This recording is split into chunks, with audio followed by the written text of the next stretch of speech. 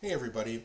Remember if you had the same ideologies as someone like me, if you thought that Fauci was, you know, not telling the truth or that this whole lockdown and, you know, the the mandates were happening for a specific reason and it's not about the science and that science changes and that it's not always correct and they shouldn't be having these mandates or these lockdowns? And we were called conspiracy theorists for it, remember? Well, it turns out conspiracy theorists these days it's just a it's a new word for being correct because Fauci has got caught lying about literally everything he said. He's just he's admitted it in the past, especially in the past few days. I mean, he's already lied about the gain of function research.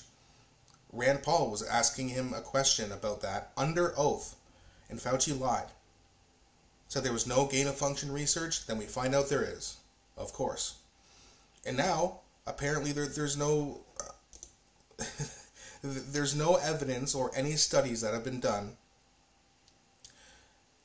proving that masks or social distancing works. Nothing.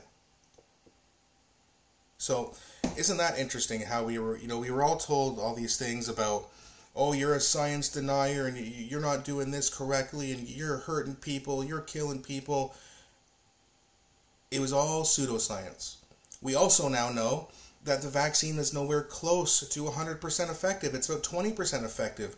Oh, good enough, they say. Good enough. No, you were lied to. You were duped. You should be mad. Now, they want to throw Trump in jail. Okay, so Fauci recommended um, lockdowns, right? And mandates, which people got hurt from. Some people even died from it. People died because of the consequences of the lockdowns. Oh, we didn't know at the time no, you're right. You didn't know. Only the us conspiracy theorists knew. Man, all of us dumb science deniers, we, we really just we hit the nail on the head, didn't we? Look at all. I'm not going to go over the, the entire list. You can check it for yourselves if you don't believe me. Every single issue that was already a problem skyrocketed. Domestic violence, mental health, drug abuse, alcohol abuse, etc., etc., etc. They all skyrocketed, and of course that's going to kill people. Where's his crimes? Or where his where are his charges? Where's his indictment? Where's his indictment? He lied under oath. That's not legal. Isn't that interesting, though, huh? And I just want to read a little bit here from um, the Toronto Sun because they were covering this a little bit today. And by the way, there's lots of sources you can cover this um, or that have covered this. So I just want to have a, a quick read here. It's going to read you some quotes where he said he told the council that he believed the theory that COVID began with a leak at the Wuhan Institute of Virology. According to committee transcripts, when pressed on how the rule came about, the Daily Mail reported. He said, I think people have made a conspiracy theorist aspect from it, he said, adding it could be a lab leak. Remember when it was caused by bats in the wet market? Remember that horseshit? He continued, so I think that in, in and of itself isn't inherently a conspiracy theory, but some people spin off things from the from that are kind of crazy. However, in 2020, Fauci supported a report called the proximal origin that slammed the lab leak theory. Oh, interesting. Also shocking was that he admitted to council that he didn't remember how the six foot social distancing rules came from. And I quote, You know, I don't recall. It just sort of appeared. Remember all the sheep when they were saying that this was this the horse shit was all backed by science? there's still there's still people who wear masks, by the way. It's unbelievable. Fauci added he was not aware of studies that supported the social distancing, conceding that such studies would be very difficult to do.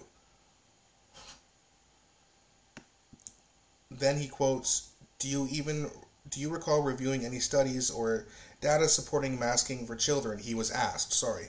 To which he responded, I might have, but I don't recall specifically that I did, which means no. That's what that means. It, means no. As far as whether masking children was right, the right way to prevent transmission, he answered, I still think that's up in the air. You were saying this was science. You were saying anyone who disagreed with you or didn't comply with it was dangerous.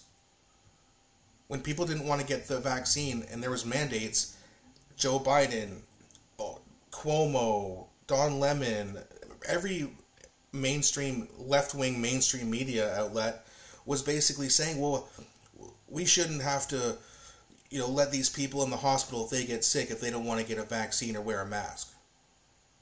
Because they thought it was all pure, just science based, right? They thought it was 100, 100% correct.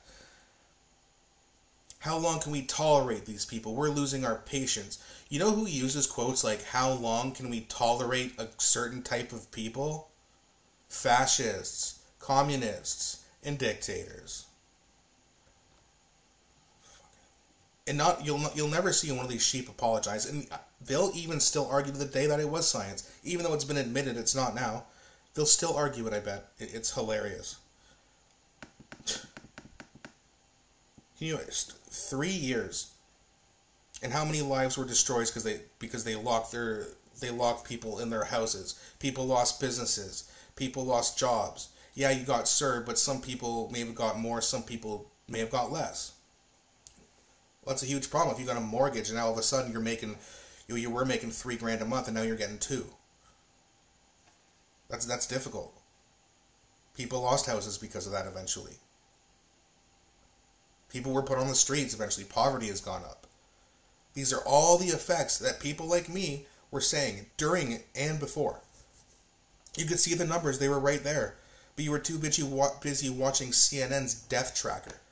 They kept a death tracker for how many people died with and from COVID, not just from COVID, with and from. They never segregated those numbers either.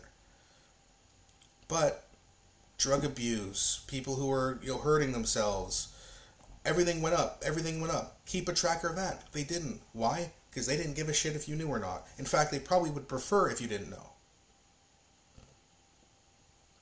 Anyway, before I go on a complete tirade here, I mean, it's just it's so infuriating to see it. I mean, I don't know if you saw the Chris Cuomo and Dave Smith debate, but I mean, the, Dave Smith just ran Cuomo over and proved him wrong time and time again about all this horseshit that happened during the pandemic. And there's lots of theories as to why they did it, but to keep people safe was not a reason, and it wasn't backed by science. So it was none of those reasons. We know that now. Let me know what you think in the comment section. I really, I'm really curious to think what you uh, to hear what you guys think. And uh, don't forget to uh, hit that like button. It really helps the channel grow. Thanks, guys, so much for watching, and I hope you have a great day.